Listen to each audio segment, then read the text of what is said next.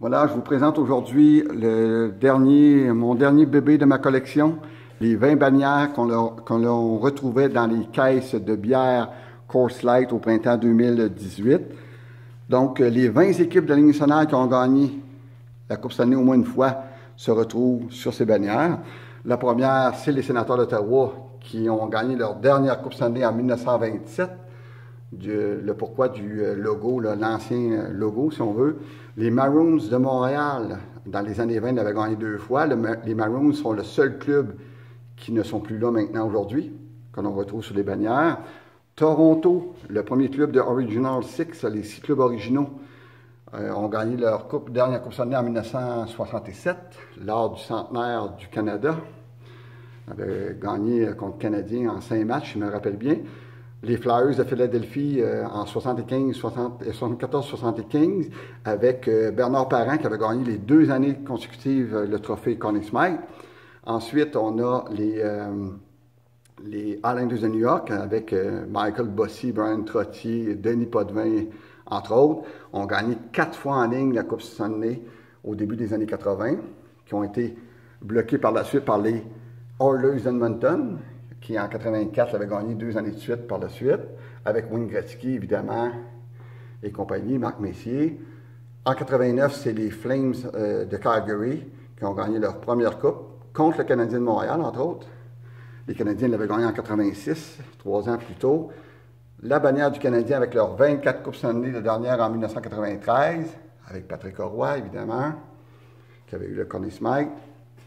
Ensuite, 1994, la dernière des Rangers de New York. Il avait gagné trois ans précédemment. Donc, Marc Messier avait prouvé au monde entier qu'il pouvait, euh, sans Wayne Gretzky, gagner la Coupe Stanley.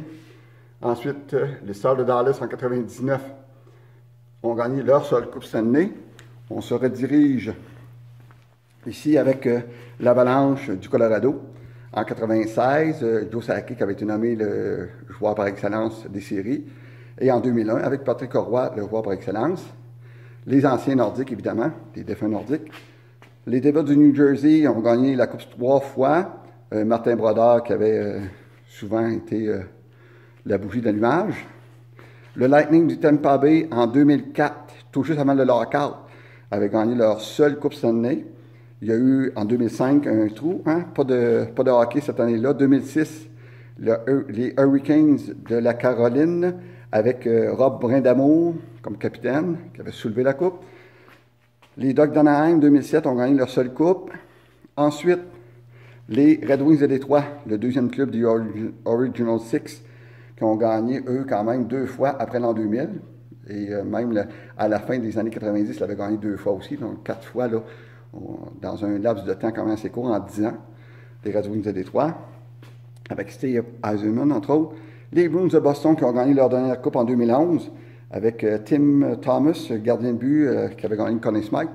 Et on se souviendra en 70 et 72 avec le fameux Bobby Orr, le légendaire Bobby Orr qui avait brillé de tous ses feux lors de ces années-là.